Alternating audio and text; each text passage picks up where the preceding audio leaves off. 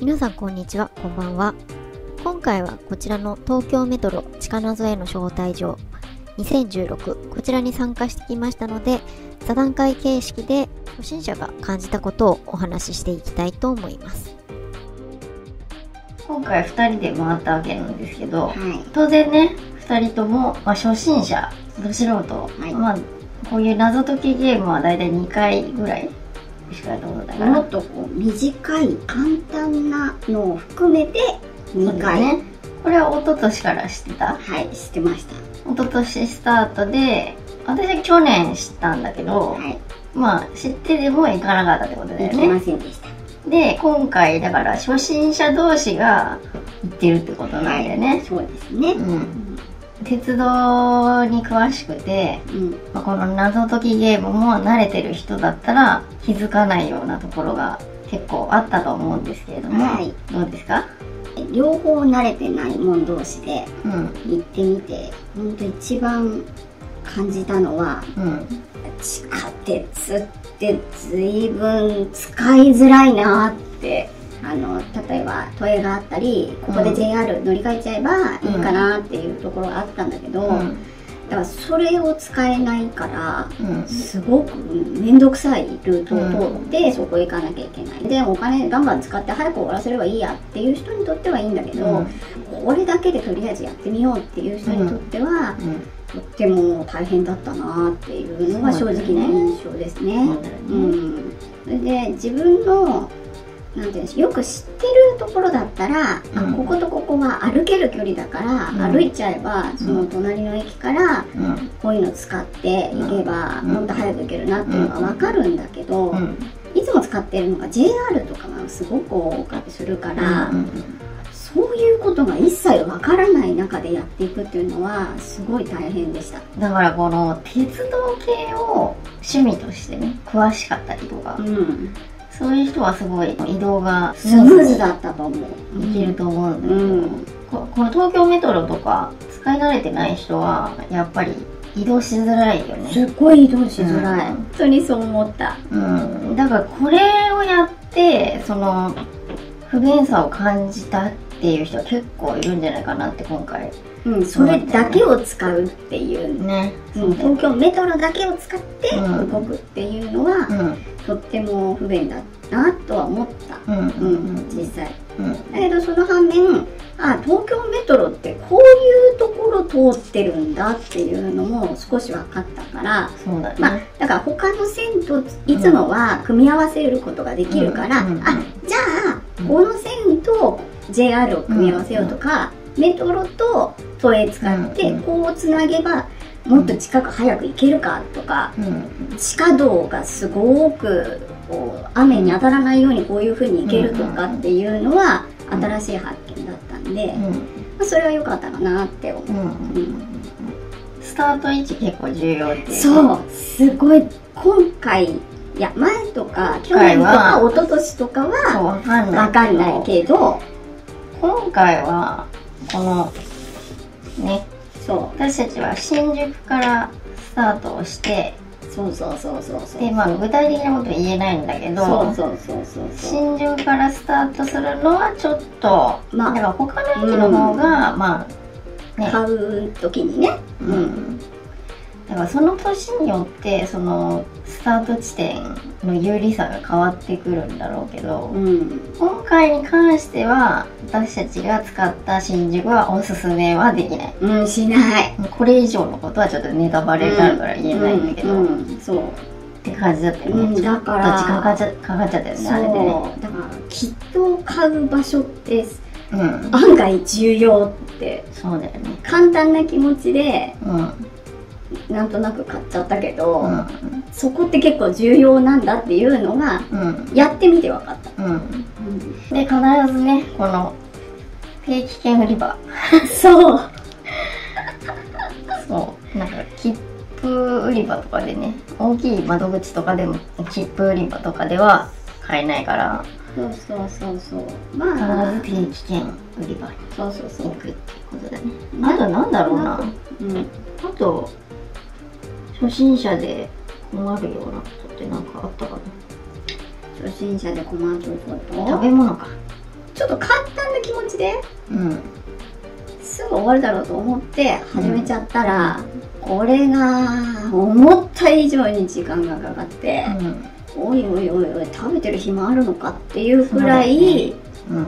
かかってしまったので、ちょっとなんかこう優雅にランチとはいきませんでしたね。そうだようね、ん、歩いて食べることはしなかったけど、結局食べるのが好きとかそういう人にはおすすめできない。そう紅葉を眺めながら、まあ、移動しそして美味しいランチを優雅に楽しみそして謎を解きうん。っていう感じでゆっくり回るっていうのは一日この県うん。そうそうそう。だけでやるだけでやるっていうのはちょっとそういう余裕はない。初心者には多分なないいない。もうあらかじめ飲み物とそう。ペットを持ってみたいな。食べ物をこう持参してそうそうそうそうまあその辺の適当なベンチに座って 軽くこうパパッと食べ物を食べてそうそうサクサクって言って次移動みたいな。次移動みたいな感じじゃないとちょっと一日では足りなくなっちゃうよっていう感じだよね。うん。あとはうん。私はその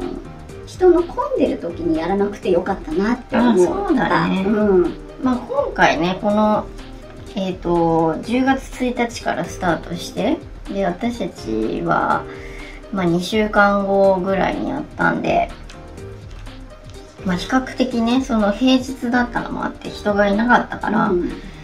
その謎解きに集中することができたんだよね。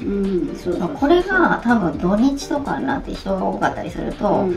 やっぱ周りの答え解いてる人とバッティングしちゃって、そうそうそうそう。多分もうなんていうのかな。答え自分で出さなくても出せちゃうような状態。になっちゃうからちょっと面白くなくなっちゃうと思うんだよね、だからおすすめはやっぱり早めの平日うんがいいね。がいいね、うん。だから今回良かったよね平日やってねよかった。初心者の人でまあ他もゆっくり見ながらこう適当にやりたいねっていう人だったら、うん。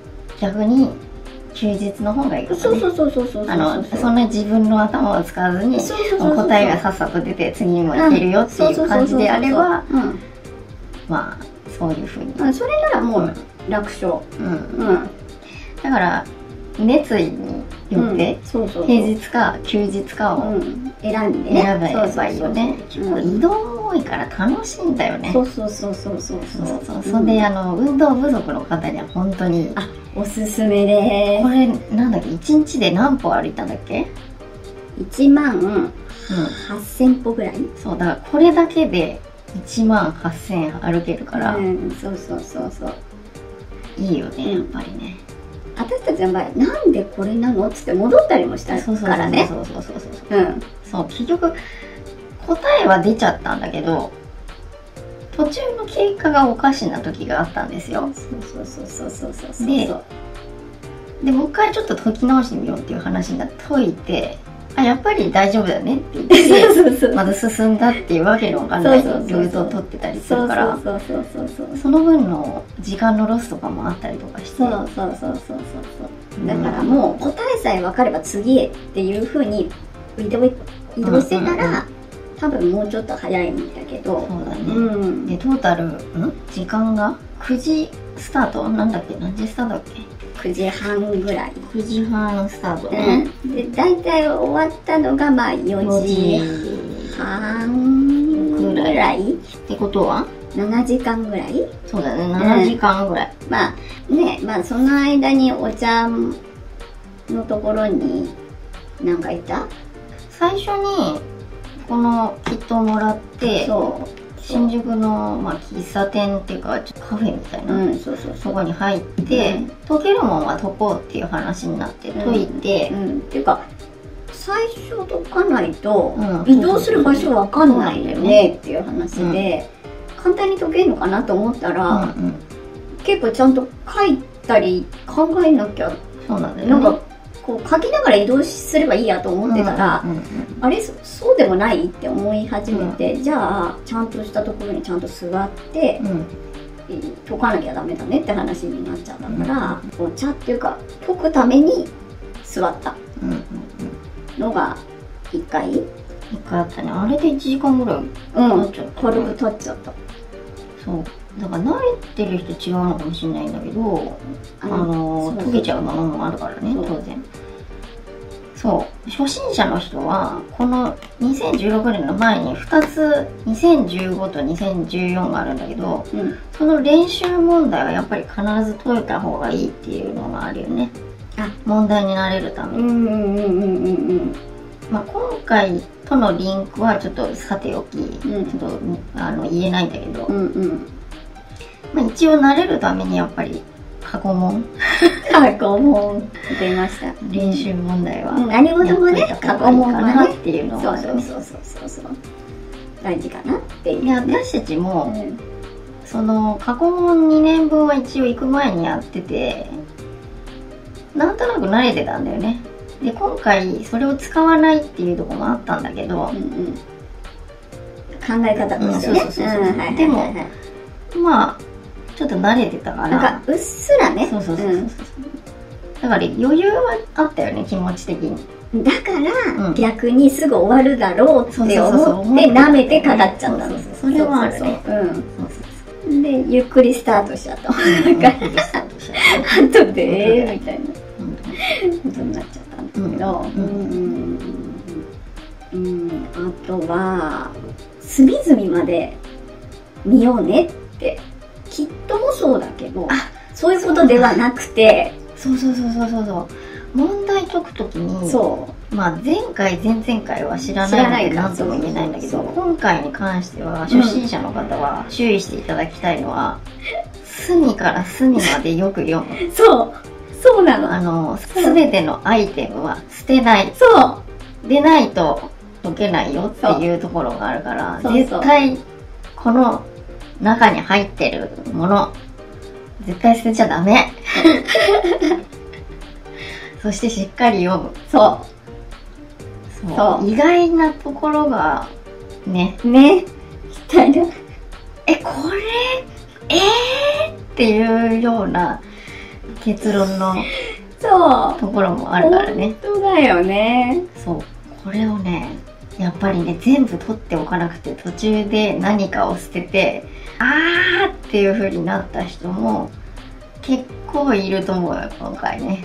慣れてる人は、さっきも言ったけど慣れてる人は慣れてる人はねとにかくあの初心者は時間がかかる。もう本当に自分の力を過信せずにそやった方がいいよう、うん、慣れていない人はあの違う頭を持った人が複数人いるあそうそうそうそう方が多分時間が早く。そう。だから自分と同じ考えを持った人うん。なんか似たような考え方を持ってる人じゃない方がいい、うん。その一緒に行くなら。そうそうそうそうそうそう。